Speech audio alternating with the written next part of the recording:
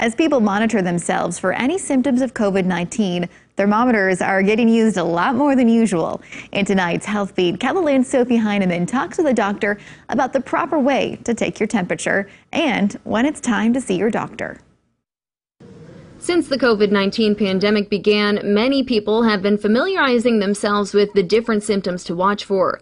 One of those symptoms is a fever. 100 um, or 100.4 is the recommendation from CDC that would be definitely for you to leave your place of work and then to follow up with your provider. Julie Meyer, the manager of infection prevention at Sanford Health, says while fever isn't the only symptom, it is one to pay attention to. And how your temperature is taken matters too. The most accurate is rectal, um, but that is um, recommended for young children um, or a, a critically ill adult that would not be able to take an oral temperature.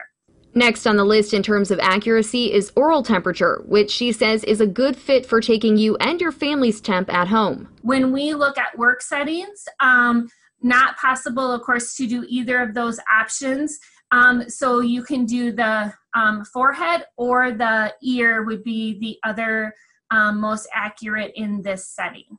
No matter how you're taking your temperature, she says an electric thermometer should be used for an accurate reading.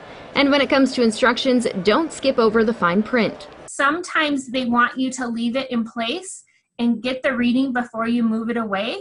I know sometimes we take our own temperatures, um, but that may not be the most accurate if we need to leave it in place until until the thermometer beeps or until we have a more accurate reading. 97.3.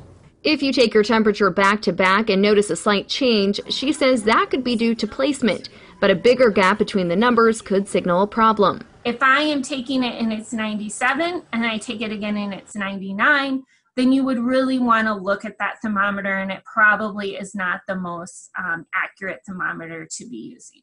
With HealthBeat, I'm Sophie Heineman.